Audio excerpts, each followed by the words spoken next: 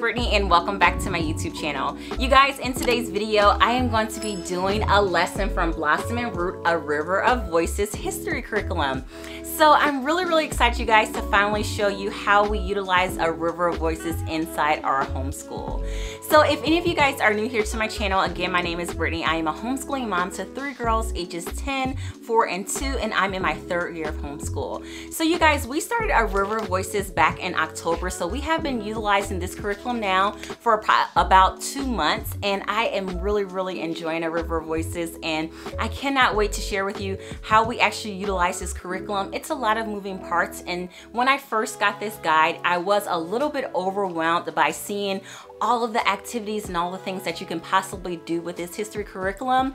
But once I started to use it and incorporate it in my homeschool, I just found out how simple it was. And I haven't seen that many videos on Blossom and Roots, of River of Voices, their early American history, um, just on YouTube, just showing and explaining how it works, the flow and everything like that. So I'm really excited about today's video to be sharing how we utilize A River of Voices in our homeschool, how I keep it very, very simple and sometimes I follow the minimalist plan and sometimes I do all the books in the book basket. So before we get into the do a lesson, I will give you guys a brief flip through of the lesson we're going to be doing, the books we're going to be reading, and I'm going to show you all the uh, extras and all the things that A River of Voices from Blossom and Roots has to offer. Okay, you guys, this is Blossom and Roots, A River of Voices, United States History for Elementary and Middle Grades. This particular volume is actually going over the first European colonies to 1791. So you guys, this is not going to be like a full flip through of this curriculum. If you want me to make a separate video of a full flip through, I will. But I'm just going to show you how I utilize this curriculum and how easy it is to incorporate it in your homeschool. So uh, as far as scheduling goes, you can really pick and choose how you want to do this curriculum. I am doing the traditional schedule where we're going to be covering this over 36 week period, doing history twice a week. So um, she has something for everyone, you guys. She has portions where we can do oral narration, written narration, we can do scrapbooking, we can make a timeline. So it's so many different optional um, hands-on activities that we can incorporate in each week, or we can just keep it simple that week. So I really love that flexibility where uh, me as parent, I am picking and choosing how I am going to utilize this particular curriculum. So you guys, the main um, spines in this particular uh, curriculum that we are going to be using in the standard pathway, which is the pathway I'm going on in this curriculum, is before Columbus. We're using a kid's guide to Native American history, a kid's guide to Latino history, and this is the last reference book, which is A Thousand and One Things Everyone Should Know About African American History. So these are the main spines we are actually getting the meat of our curriculum from.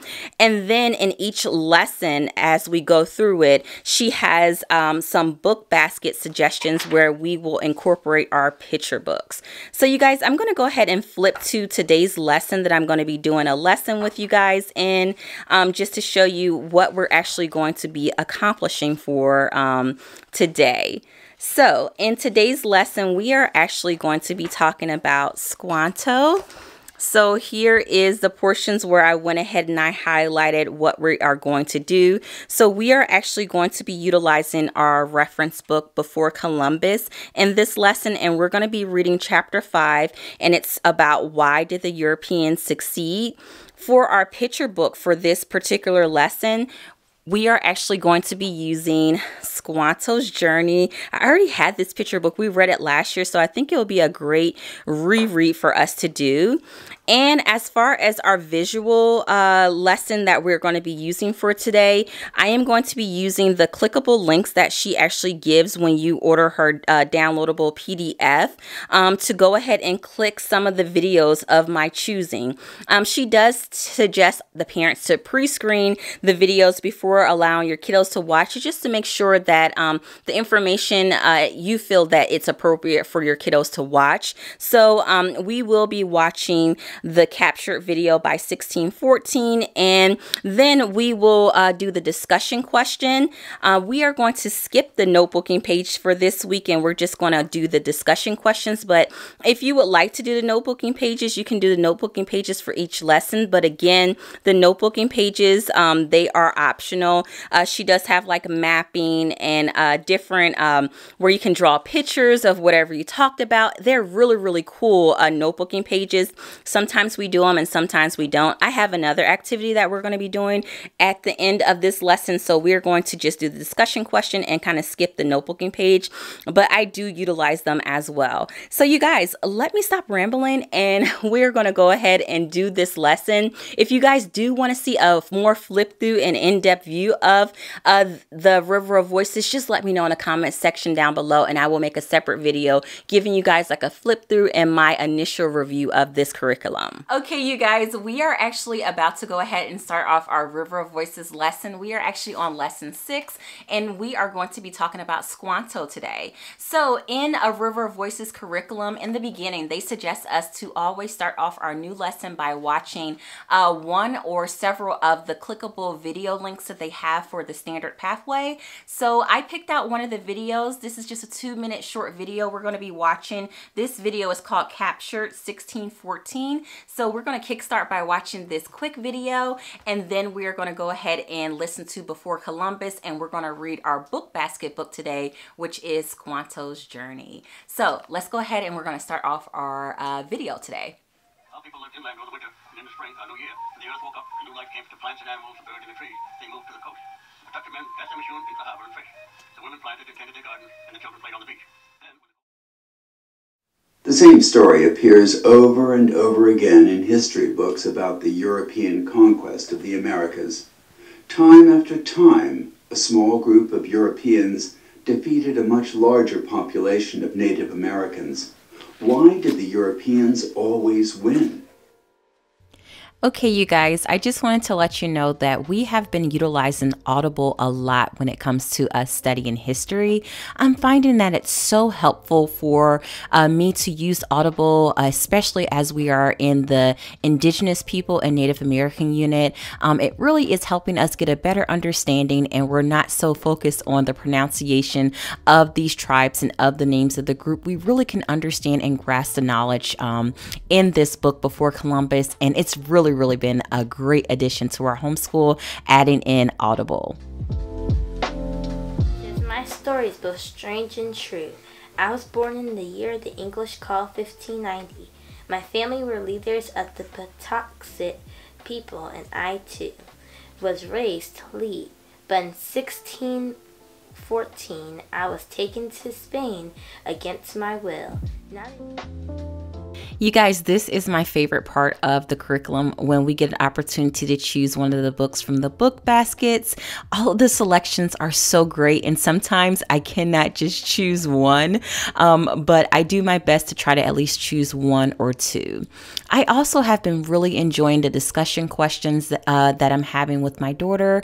Um, I really love hearing her opinions and her views on history, and I love creating this safe space where she can vocalize her opinions And um, I really, really have been enjoying this portion of this curriculum. Okay, you guys, we are actually all done with the lesson. We actually listened to Before Columbus.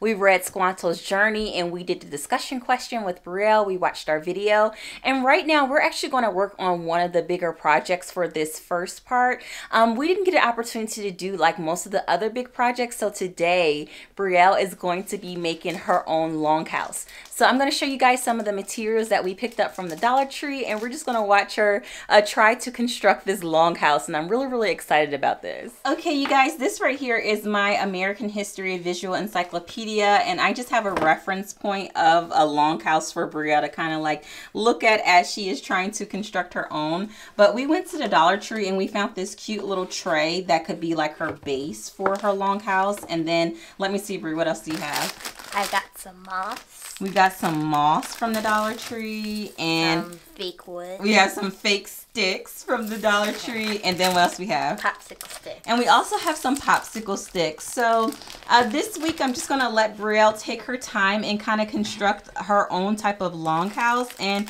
kind of see how it goes. I'm going to give her a few days on this project because um, I just want her to take her time and kind of like have fun in making this um, longhouse. And we might watch a few more YouTube videos about more structures of longhouses and things like that um, as she is making her own little mini model. So are you excited, Brie? Mm -hmm. Yeah. this one's really, really cool. So I'm going to go ahead and let her get started.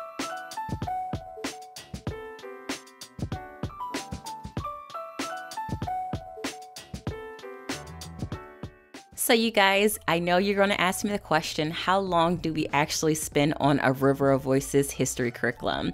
And we spend anywhere between 30 to 45 minutes. Today, Brielle actually spent a lot longer because we kind of went on this rabbit trail on longhouses and I thought she was going to spend a few days on this longhouse, but she just kept on asking more and more questions and she was constructing her longhouse. My time lapse actually stopped as she was doing it, but this is her final product and I really, really have been enjoying the hands-on approach to this history curriculum as well.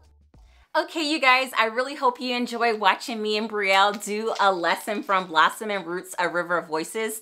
I really, really, really have been enjoying this curriculum. I love the discussion. I love all the books that we're reading and incorporating in our homeschool. Um, I just love the laid back approach of this curriculum because we can really, you know, go all in one week or we can just really keep it simple. I love that flexibility that it offers. Um, I am so, so, so enjoying just hearing all these different perspectives and using all this great living literature to study history. Um, it's really been great. Um, all I, I, don't have anything negative to say about this curriculum. Like I am in love. I really feel like I'm past the honeymoon phase and I really, really have been thoroughly enjoying it. And I really love this approach to history that I am going on with my daughter. So you guys, I really hope you enjoyed today's video. I really hope you enjoy watching us do uh, this lesson. And I really hope you are enjoying coming more inside of my homeschool and kind of seeing how we are utilizing our curriculum and how we're utilizing all the resources um, for this school year. So you guys, thank you so much again for watching today's video. I appreciate every single one of you, and I will see everybody in my next one. Bye.